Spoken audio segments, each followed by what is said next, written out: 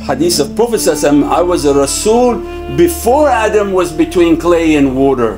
The Risalat of Sayyidina Muhammad was first, is qadeem that nobody talks to Allah they talk to Rasulullah That nur, that light Allah I'm going to bring it and put it into the Khalifa. That Khalifa is going to be the supreme Khalifa, he is going to be the Muallim because this is the light of Sayyidina Muhammad coming.